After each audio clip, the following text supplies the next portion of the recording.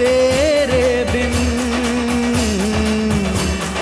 तुझको फिर से जलवा दिखाना ही होगा। अगले बरस आना है, आना ही होगा।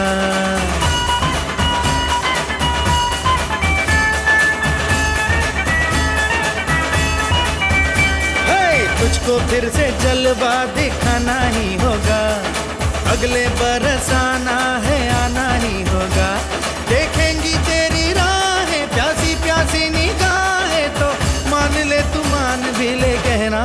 मेरा, लौट के तुझको आना है। सुन ले, कहता दीवाना है, जब तेरा दर्शन पाएँगे, चैन तब हमको पाना है।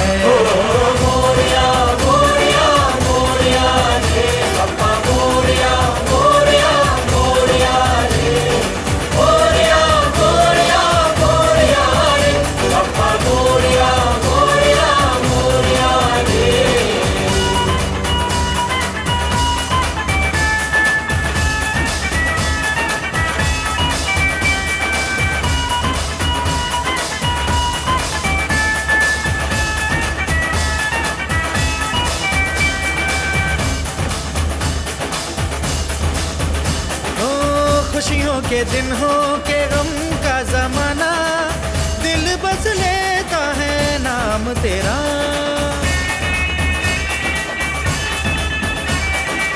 तेरे ही कारण है जीवन सुहाना, तू ही तो मन में तमन में बसा हर घड़ी। ध्यान रहे तेरा। मूर्तिकार सुशील पेंटर छिंदवाड़ा से हैं और ये जो आप मूर्ति देख रहे हैं, ये छापा खाना गाड़ी आ रही छापा खाना में पंचवटी समिति सेवा समिति छिंदवाड़ा से। छापा खाना और ये मूर्ति देखने आप ज़रूर पधारें। बहुत ही शानदार मूर्ति है।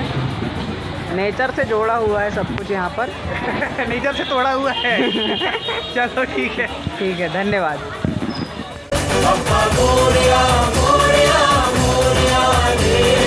तुझको फिर से जलवा ही अगले बरस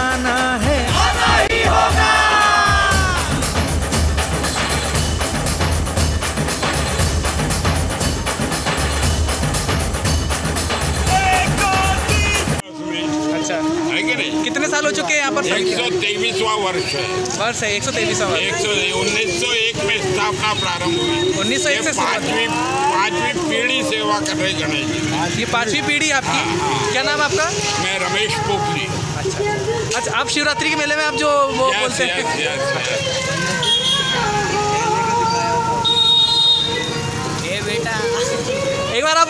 बताइए ना। एक कंधा संभाल कर कंधा संभाल कर बेटा। कंधे में हाथ नहीं कंधे से हाथ हटाओ।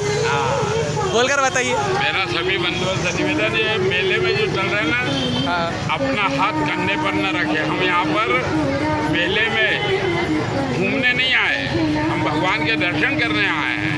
इसलिए अपने बच्चों का हाथ और साथ भी न छोड़े और पूरी मर्यादा और अनुशासन के साथ मेले का पूरा आनंद ले। भगवान जी के दर्शन करें। और पूर्ण रूप से अपने आप को धन्य करें। धन्यवाद। धन्यवाद बेटा।